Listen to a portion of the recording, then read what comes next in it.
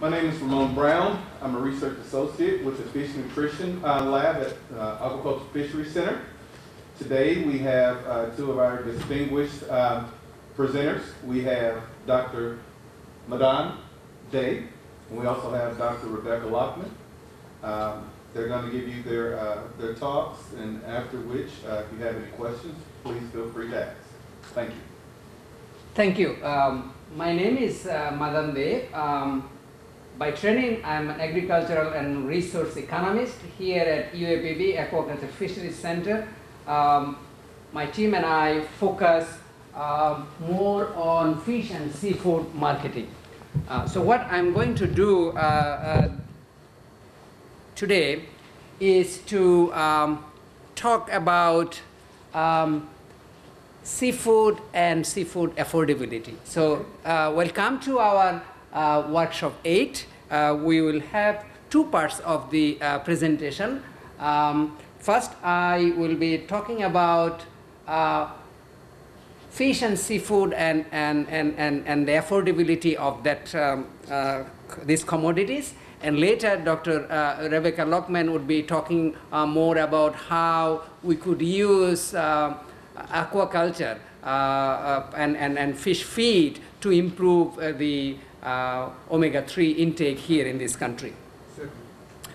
Um, so uh, for my part of presentation, uh, we will be uh, focusing on these five things. First, we'll talk about uh, the importance of seafood and omega-3. Uh, Dr. Lochmann again would be uh, re-emphasizing some of this point. Uh, we will be talking about the global trend in terms of public interest in omega-3 and in, in seafood, whether people are thinking about it or not. Right. We will be then talking about uh, prices of uh, seafood based on scanner data which we have in our center. And then we'll say, okay, uh, uh, how can, what would be the cost of this uh, seafood if we like to really get an adequate amount of uh, omega-3 uh, through our uh, uh, seafood consumption. And then I will end up with uh, some of the take-home messages, and then Dr. Rebecca Lochmann will, will follow it up.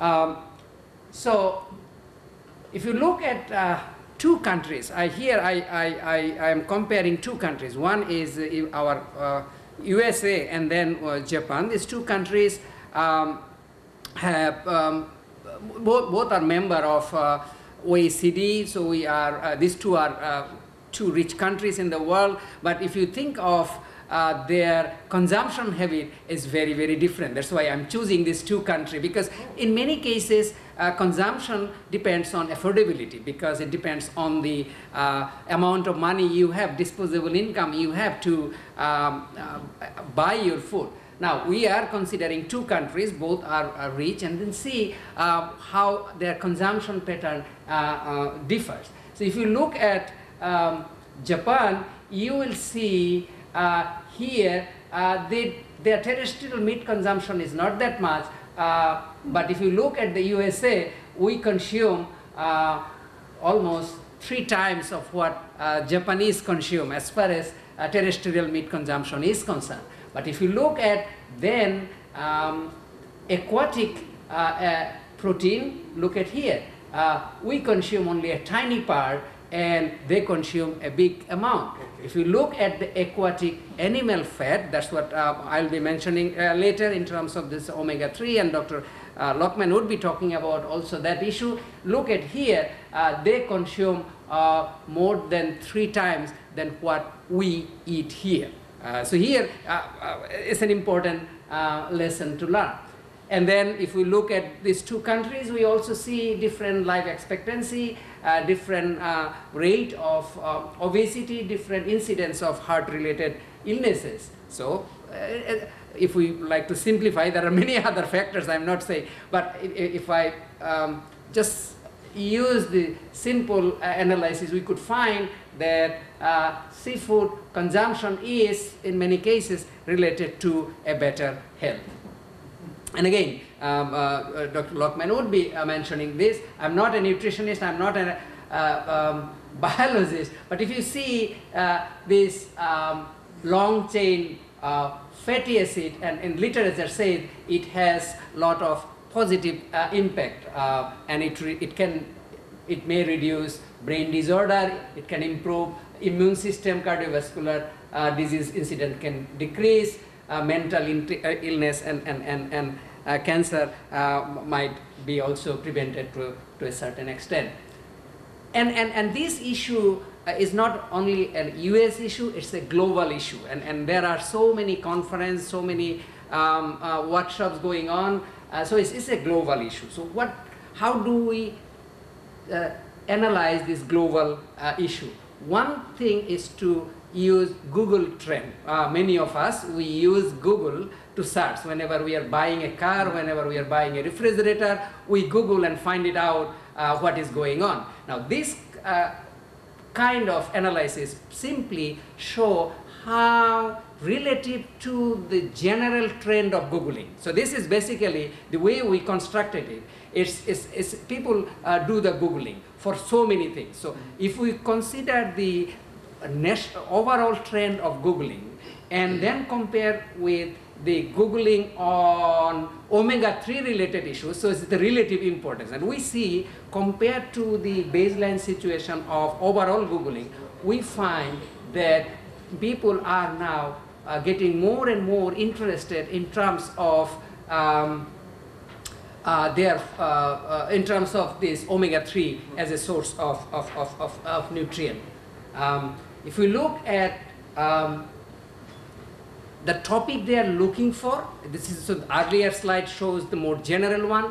This one is more specific one. If you see uh, what are the items people are searching through Google uh, compared to overall trend, we see uh, people are looking for topic like omega-3 fish, uh, omega salmon omega-3, tuna omega-3. These are the top three, uh, you know, uh, seafood and omega-3 uh, related search. So it's simply, and this is, is interesting. This is what is happening because we could analyze this for different uh, uh, uh, region for different country. This is for the United States. So here we see in the United States, if we compare 2005 to 2013, this data are available uh, um, uh, through Google uh, search, and, and, and in fact, we, we are now writing a paper.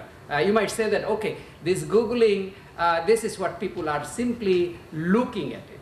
Are they going to buy? one of my PhD student and I are now writing a paper where we analyze this Googling trend of seafood and actual seafood consumption.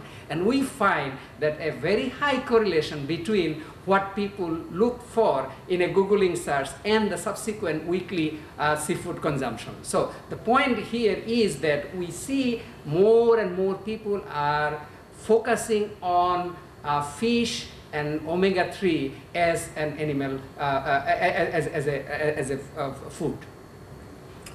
Um, now, the next two slides, I will be talking about uh, the contribution of different kind of fish and seafood uh, for these three types of uh, omega uh, 3. You know, the, the, uh, Dr. Lochmann will be mentioning some of those things later again. Uh, DPA, EPA, DHA, uh, these are the um, you know, uh, long chain fatty acid. And if you look at the contribution of different uh, animal uh, protein, and you will find protein source, you will find a huge difference. And now, um, we often, whenever we talk about um, omega-3, we often think of salmon, we often think of uh, tuna, but think about even fish species which are not really good source of omega-3. But if we compare that with other, think about tilapia, think about channel catfish, uh, you will see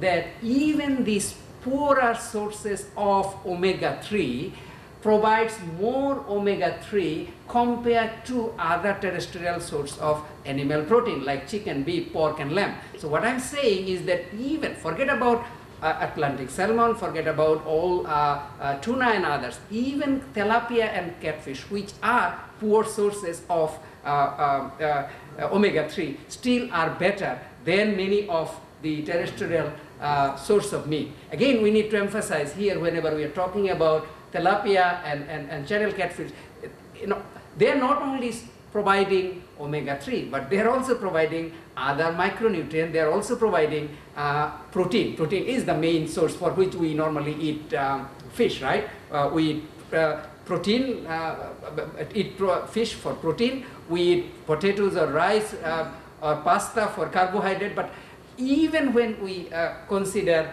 uh, omega-3 for tilapia and catfish, we find that they are better source than um, beef, pork, and lamb. So here, some of the earlier I was mentioning um, fin fish, which are fish with fin. Here I'm talking about uh, crustaceans. Uh, we are talking about mollusks. We are talking about other uh, um seafood, and we see that they are good source of um, omega-3 compared to terrestrial uh, animal protein source. Now, if we consider protein vis-a-vis uh, fat and carbohydrate, uh, carbohydrate, if look at here, uh, this aquatic thing, including aquatic plants, is, is high source of animal protein, but they are also leaner. Uh, and they are also uh, providing lower uh, calorie. So it's, it's really a good um, product, and this is this is a, a public, from a published literature. Um,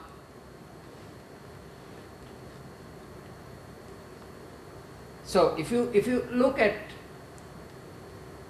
other source of uh, micronutrient uh, is a similar uh, story. We see catfish, uh, we see uh, finfish, we see mollusks, we see crustaceans are good source of uh, this uh, kind of uh, micronutrient.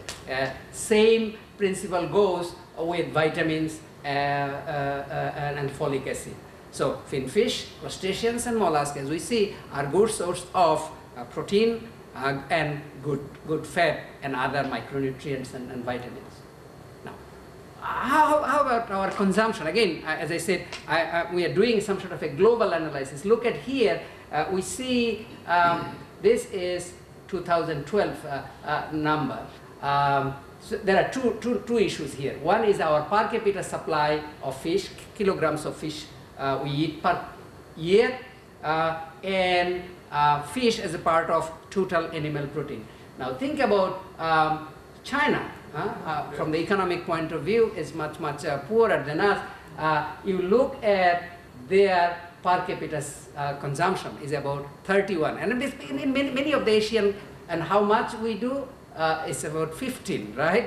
Um, and if you look at uh, what is what proportion of this animal proteins comes from fish, it's very low. And you know, in many of these countries like Japan, eh, they are a huge consumer of uh, seafood and seafood really constitute a very high proportion of their overall animal protein intake. But we, we, we, we here are far, far away from uh, even the global, global average. In many cases, we consume much less animal protein, much less, I'm sorry, much less uh, uh, seafood protein uh, compared to some of the poorest country, including, for example, Cambodia. Uh, and Cambodia uh, seafood consumption is much, much, much higher uh, compared to us. And if you look their per capita income and our per capita in- income, you cannot even graph it. So, so, so, so that's an important issue. Uh, so it is an important issue. If you look uh, into the literature, into the, uh, our uh, American Heart Association, they are talking about asking at least to eat two. Yeah. Now, if you look at this uh, Farm Bill, 2008 Farm Bill, even this this most recent Farm Bill, you see uh, uh, uh, uh, this is highly, uh, you know, uh, flagship item uh, even for White House. Um, uh, so, um, so we see even for USDA dietary guidelines, they're saying that we should have at least uh, 250 to 500 milligrams of uh, EPA DHA. Uh, so 500 milligram is recommended, or at least half of it is 250. So you might say, oh yeah, that's fine. Uh, it is good to eat, but do I have money to buy it? Can we afford it? Because that's the bottom line. You know, if we cannot really afford it, we, for many of the vulnerable communities, we would not be able to provide uh, uh, fish as a source of um, omega-3. So what I would be doing here for the next um 15 minutes or so, right? Uh, right about six. Six, okay, Okay. We started a little late. Okay, we started a little late. Okay, so so so what we'll do, I'll quickly go through some of the um, price-related issues, affordability-related issues. See whether we could really uh, uh, afford this fish. What we did, we in our center got this uh, scanner data. Think about it. If we go to a supermarket like uh, Walmart, we go to a counter and then somebody's uh, um, scan that item and click click. So we see that item, that maybe bottle of water. Um, we purchase at the rate of two dollar per bottle. and It is getting re- recorded. What happened is that some companies then buy this data uh, data set, and we marketing researcher again buy it from them, and we analyze how prices, how much quantity are being sold in different weeks, uh, how it is changing over the time, how prices are changing, and we have in Aquaculture Fishery Center at UAPB this database from 2009 to 2013 for uh, 52 markets uh, on a weekly basis for so many commodities, including now we just got a data set which even uh, includes mutton, beef, and chicken. Earlier, our emphasis used to be seafood. We are now even checking um, the substitutability. I have a PhD student who will be looking into not only the seafood but also uh, the chicken and, and, and, and uh, beef and, and pork. So, uh, based on this data, and this data includes not only uh, the supermarket, it includes gas station, it includes mama papa store, it includes uh, um, drugstores, and, and, and, and, we are trying to get um, this data to see uh, the price of this uh, fish. Now, what I will be showing here is that, okay, if we like to uh, follow uh, USDA or White House recommendation, how much uh, we need to pay per week and how many servings of fish we need to have per week. So this is, remember, we said 500 milligrams per week or half of it. So we have two. One is uh, 3,500 3,500, uh, which is 500 times 7, and that's the half of it. And we'll see here, if we like to get it through salmon, uh, we need to have less than two serving a week. Uh, that will cost us about uh, two and a half uh, dollar. Uh, same story we find for trout. Again, uh, about um, slightly over two and a half uh, dollar, uh, dollar 60, 70 cents and we need to have only uh, two serving per, per week. This is another one. This is through trout. And then if we look into uh, fish and cod, um, this is the number. Again, within the range of two dollar fifty cents through two dollars seventy cents, and then about two servings a, a, week. If we talk about uh, mackerel, uh, again we have to see that many of these things are um, processed product, and we have um, you know uh, sometime oil, sometime um, uh, salt water. We have to also consider those. But if we eat all the things uh, there, we, we, if we are not losing some of this fat, oh sorry. So we see here um, again uh, we need to have slightly um, more than two dollar fifty cents, and we can get uh, our adequate uh, or recommended level of uh, animal um, omega three. Um, if we look at uh, sardine, again, uh, it's just really uh, not an expensive product. Right. Uh, we could get uh, with uh, slightly over two dollar fifty cents the required amount of omega three we are supposed to eat. Uh, again, mollusk. Uh, if we do that, um, more or less similar story. Um, if we took um, here, we see. Uh, you know, this is earlier we, we, we talked about oyster, uh, here we talked about mussels, um, similar, uh, similar figure. Um, now, uh, if we consider others, which are slightly more expensive source of omega-3 compared to what I just showed you, uh, we find that, you know, uh, within $4, we can get a variety of um, animal uh, um, seafood which would provide uh, right amount of omega-3. Uh, so you could have even for more expensive like uh, um, you know source would be for example trout. Uh, we could still have uh, within uh, five dollar per week limit. So what I'm saying is that we have a lot of choices available which are uh, within the affordability uh, limit of many uh, American. If we uh, grow to other uh, commodities like, uh, for example, grouper, well, it's not a main source of, of uh, omega-3, but still, you know, it's, it's about uh, $30 uh, a, a, a, a week. Uh, mollusk and crustaceans, we could, again, um, uh, from Louisiana, if we have this uh, crawfish, that's not really a fatty kind of thing, but still it's, it's not, you know, if think about it, it's about 30, 34, 30, 50, 40 dollars per week. That's, but remember, this is not the main source of uh, omega-3. They have other purpose. They produce, uh, they, they supply protein, they supply other micronutrients. What I'm saying is that uh, we have variety of choice, it depends. Uh, but uh, don't uh, uh, think that, okay, this uh, high price means that they are not good item because they are a provider of other important nutrient. Here we are just focusing on um, uh, omega-3. So, what we have here is that um, we can get omega-3 from a variety of sources um, and it is uh, affordable to have um, recommended uh, 500 milligram per, uh, per day or even uh, 250 uh, milligram per day or which would give basically two times a week or one time a week broad figure.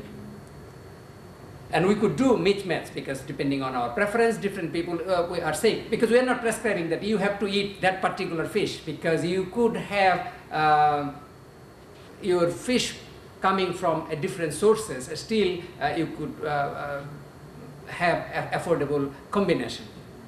So here is some sort of a summary. If you look at here what you see uh, you see a lot of fish uh, where you are think about it paying less than four five dollar per week to have full doses of uh, required uh, omega-3 uh, many fish we, we, we analyze. So you see within four five you can get many. Uh, and if we are talking about half of it uh, you have so many uh, sources so it is possible.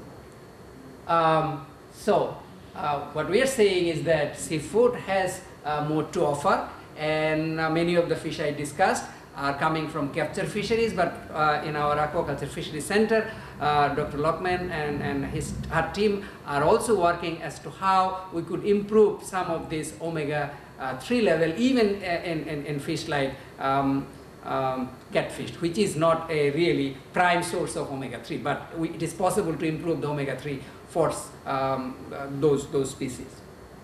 So um, hopefully you will have some uh, seafood in the future uh, to have uh, better intake of omega-3. Uh, thank you for listening to me and, and please do listen to Dr. Lochmann for more information. And at this stage, if you have any question, I'll be happy to answer. I just wanted to make mention that um, Brookshire's store has an interesting article in their publication this, this, this week about fish, the type of fish. I don't know if you've seen that Yeah. article. Yes. Yeah, Just want to make mention of that. yeah. And all, I'm really concerned about, uh, uh, of course, there's the movement now for more fish oils, you know, that will, uh, uh, which contains omega-3. Oh, yeah, the medicine as a, yeah, that- yeah, that yeah. Truly helps the, the body. That's Yeah. a big push now medical wise now. Yeah, yeah, yeah. I, I'm not against that uh, peel as, as a uh, uh, uh, omega 3, but remember what we need to be uh, thinking is that can we get a balanced diet, what we, you know, what we like to consume, and at the same time, can we get this as a byproduct? Because remember, most of the time we eat fish for what? We eat fish as a source of protein. We do not eat fish for uh, carbohydrate. We do not eat because if we like to have a carbohydrate, we'll go for potatoes or we'll go for pasta or, or, or, or, or rice. But we eat fish for uh, protein. Now, what I'm saying is that whenever, whenever we are just having fish as a source of protein, for many, many cases, we simply get that additional uh, nutrient, which is omega-3, which are- are really required uh, based on our seafood consumption. So, so, so that, that's, that's the point. Well, thank you very much, Yeah. Dr. Dey. Right. Well, thank you very much for uh, staying for the second part. Um, Dr. Dey did, uh, provided excellent coverage of the nutrient properties of fish. Um, I'm going to cover the research aspects of how we try to manipulate the lipid content of farmed fish to make them healthier for people. Uh, This uh, official announcement came out in 2011, and there have been many other similar announcements since then, uh, talking about the fact that most Americans do not consume as much seafood as they should to be getting the healthful properties. And um, there are a variety of nutrients you can get from fish, and it's all good. But one of the more unique nutrients that fish tend to have in higher supply are the omega-3 fatty acids. And these are the long-chain omega-3 fatty acids as opposed to the kind you can get from plants. For um, our research, because this is catfish eating country, we do focus mostly on the channel catfish. And also because the catfish has been criticized for being one of the fish on the markets that's a little bit lower in the omega-3 fatty acids. And there's absolutely nothing wrong with catfish as a very healthy fish to consume. It just happens to be lower in omega-3s like than compared to salmon. It is naturally low in omega-3s. We don't make it that way. Um, some fish just are, but there are ways that we can enhance them in a farming environment because we have control over what they eat. So uh, as Dr. Dey was saying, there is increasing awareness of the health benefits of omega-3 fatty acids, and it's a big concern because in this country in particular, we really don't get nearly enough. Um, originally, back in the olden days before we had you know, ready access to food at the grocery store and food was much less processed and less industrialized, there was closer to a one-to-one intake of the different types of fatty acids, omega-3s and omega-6s. We need both types, but we need them in the correct balance. So um, one of the ways traditionally in aquaculture diets that we add some omega-3s is to use marine fish meal and marine fish oil. The problem is that the stocks of wild fish that these products are taken from are dwindling. And they're also considered sort of environmentally unsustainable to use.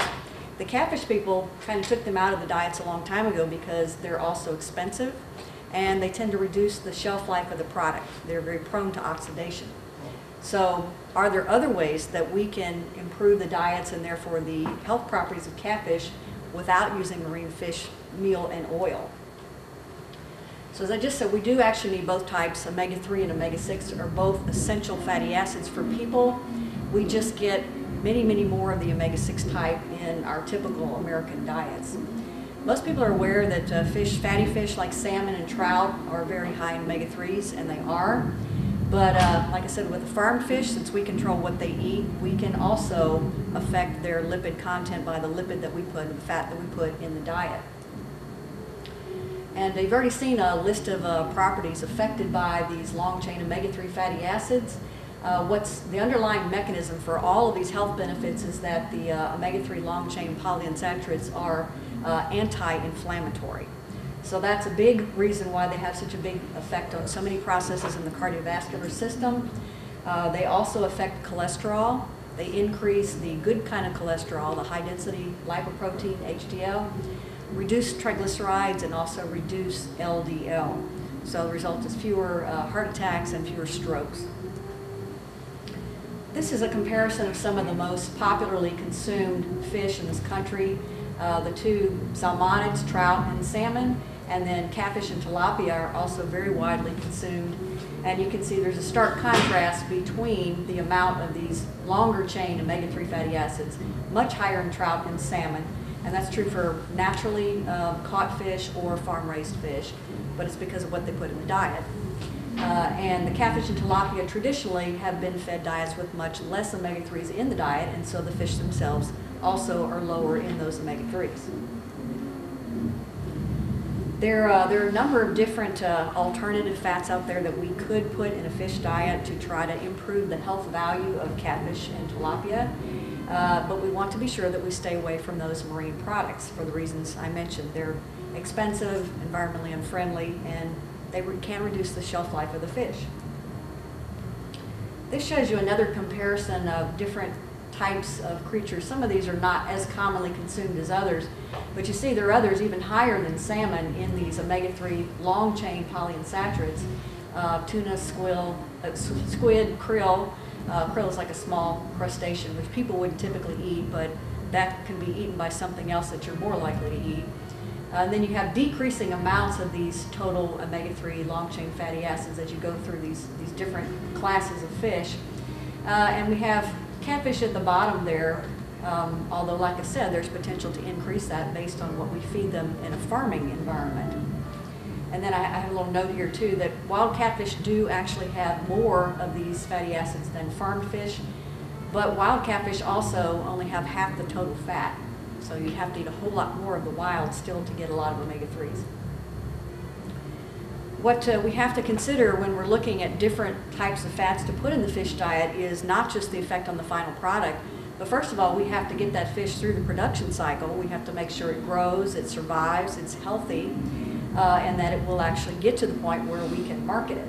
So that's our, our first concern. And then um, once we do get through the production cycle, assuming the lipid equally supports, you know, growth and survival and health, um, then it has the healthy fatty acids that we want in there, but what about product quality? How well is it going to keep? And what about the taste? What about the texture and those properties that people look for? Especially if you're used to eating catfish on a regular basis, you want it to taste a certain way. This is a, a comparison including fish along with uh, the most commonly consumed land sources of meat. And you can see that, sure, catfish is lower compared to salmon, but then look at all of these, these land sources of meat are lower than catfish in those specific, uh, this, this shows the balance between omega-3 and omega-6. So the higher the number there means the more omega-3s you have. So, uh, you know, poultry actually in this case is the lowest. Although these animals also, you know, you can vary their fatty acid composition depending on what you put in their diet. Less control over a cow because it's a ruminant, but uh, you can enhance any of these products with omega-3s. We work with fish, so we want people to eat fish.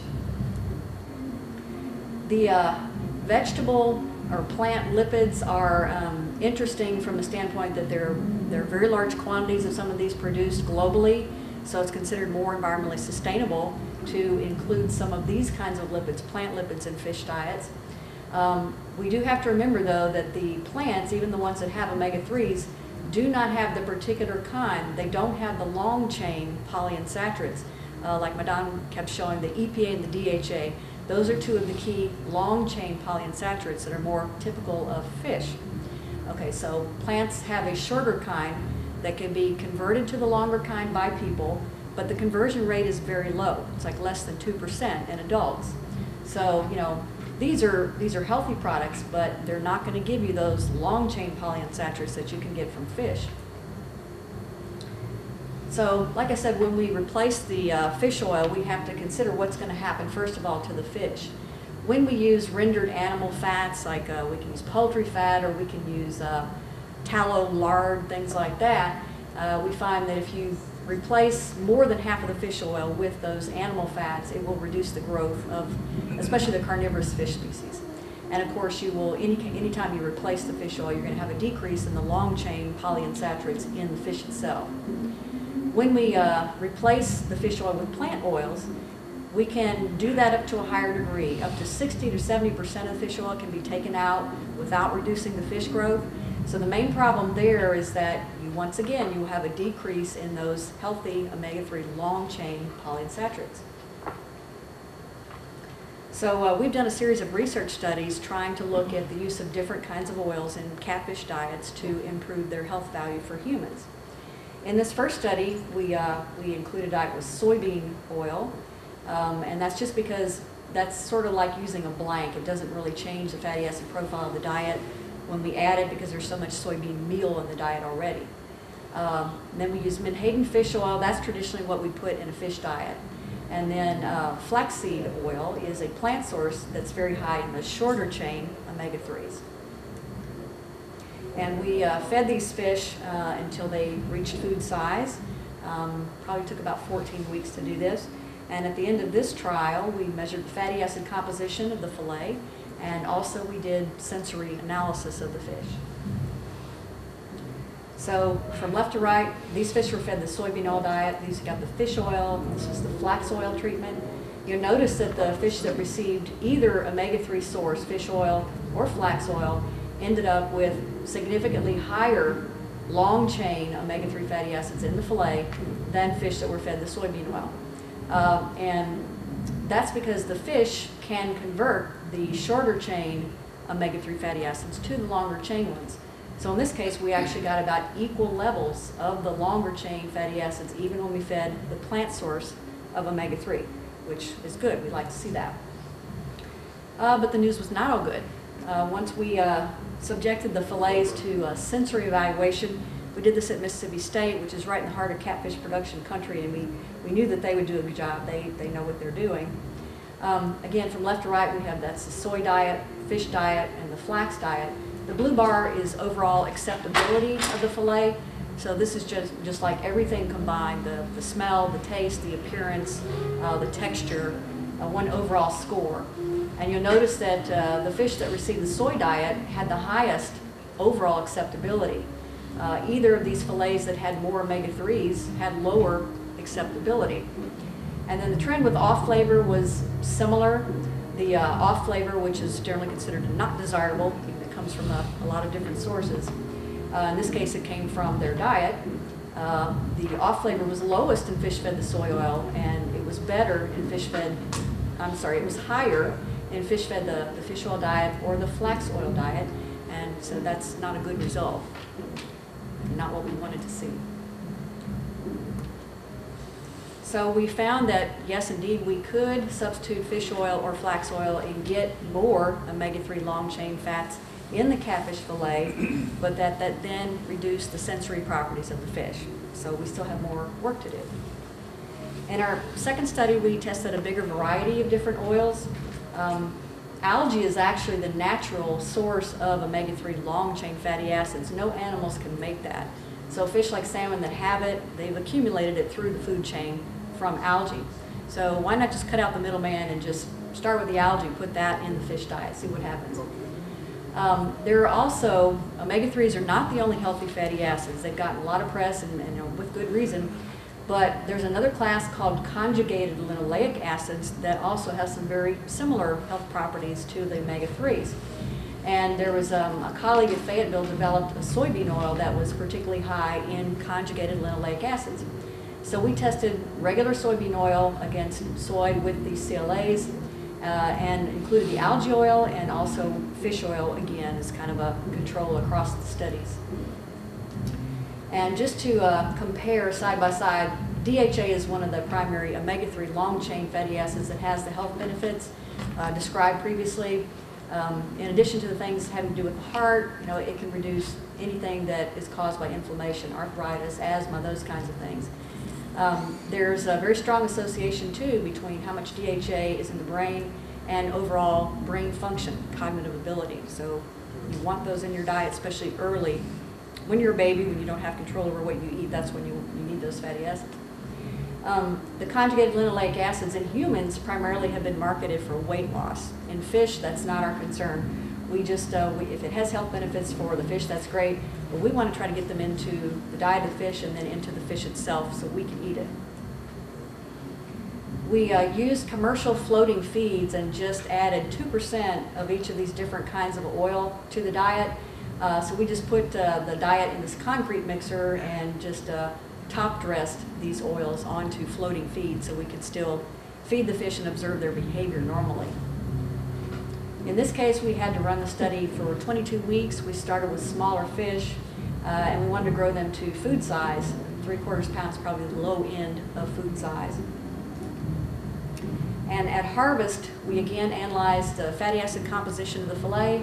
We did consumer preference testing, this time at the Food Science Lab in Fayetteville. Uh, and we also wanted to look at how well the fillets held up during refrigeration and freezing.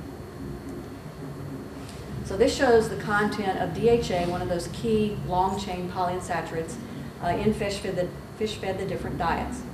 The fish that got the diets higher in that fatty acid, fish oil and algae oil, had significantly higher levels of that fatty acid in their fillet.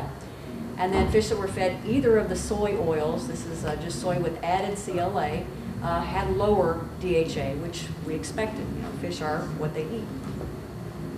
With uh, CLAs, the trend was much more stark. I mean, if there's no CLA in the diet, there's no CLA in the fish. So only the fish that were fed the CLA diet had measurable levels of that fatty acid. But it was good to see it would accumulate in the fish fillet. During the uh, refrigerated storage test, uh, this shows the trend over time was the same for all the diets. Uh, From the initial values, it increased uh, over time, whether they were chilled or frozen. Uh, Not much difference between chilled and frozen, but the important thing to note is that it didn't matter which diet the fish were fed, that had no effect on their keeping quality. They all performed about the same. Then this shows uh, aromatics. You think of you know the way they smell, but of course smell is closely related to taste. So um, this uh, shows different components that the uh, the taste panel is trained to check for. Um, musty, dusty, old books, sulfury, some things like this. This is why they have to be trained. I don't think most of us would be able to pick that out.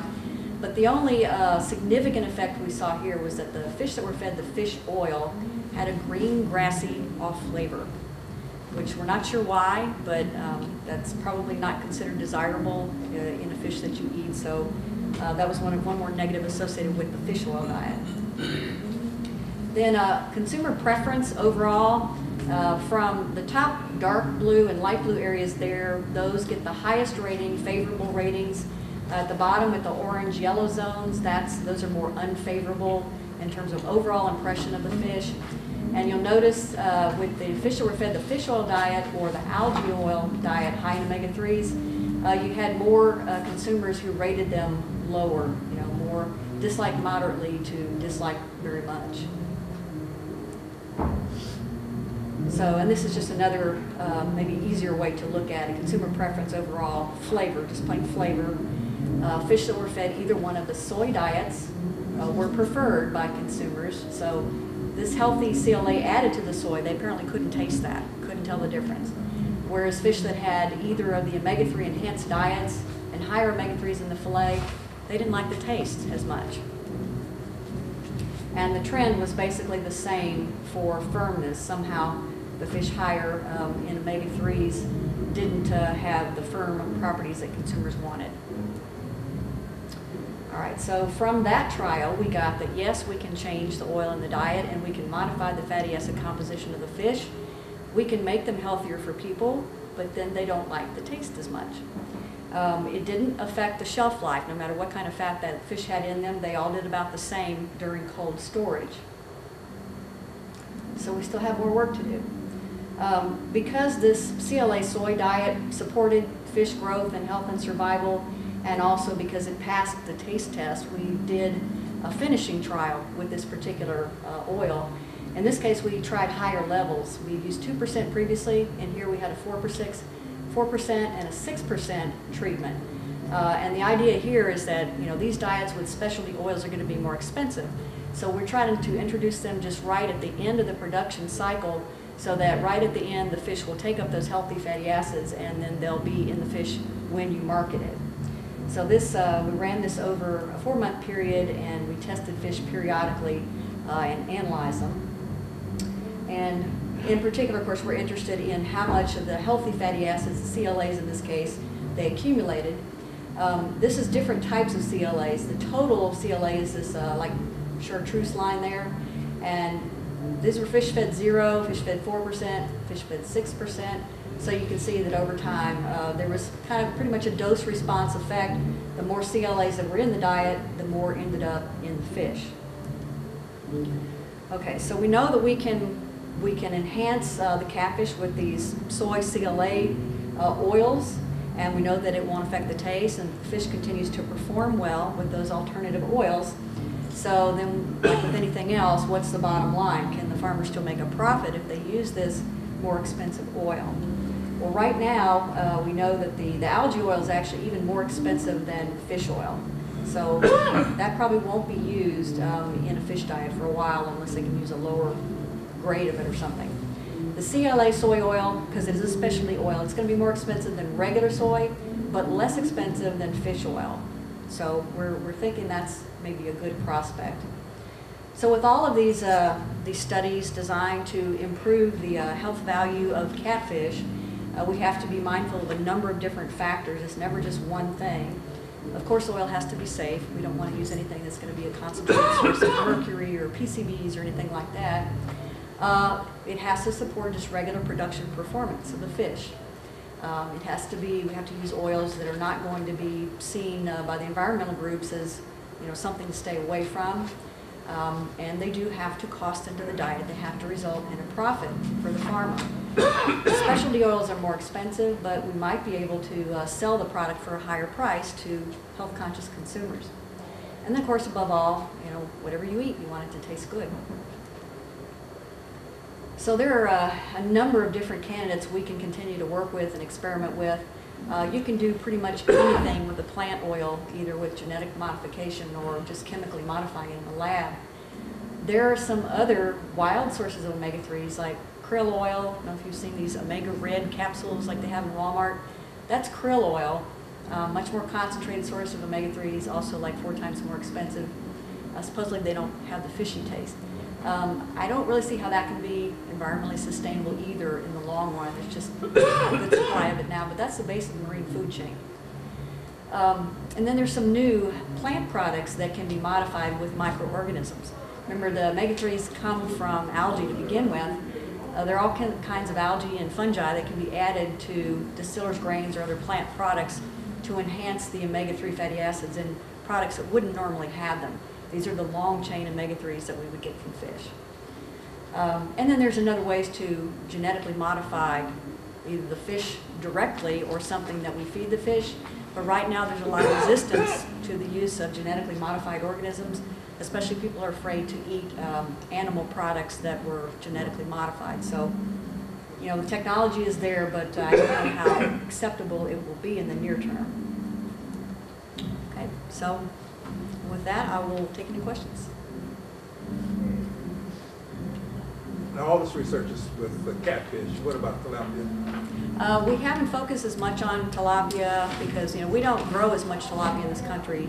Catfish is the number one fin fish grown in this country, uh, but the tilapia, I think, is the most consumed Yeah, that's what fish. So, um, yeah, we've, uh, I've mostly done tilapia work with my students from Africa, and they're not looking at fatty acid composition. It's different concerns over there, but uh, we do, I do have some plans to work with tilapia in the future. Everybody's ready for lunch? Thank you. Thank you. you all very much.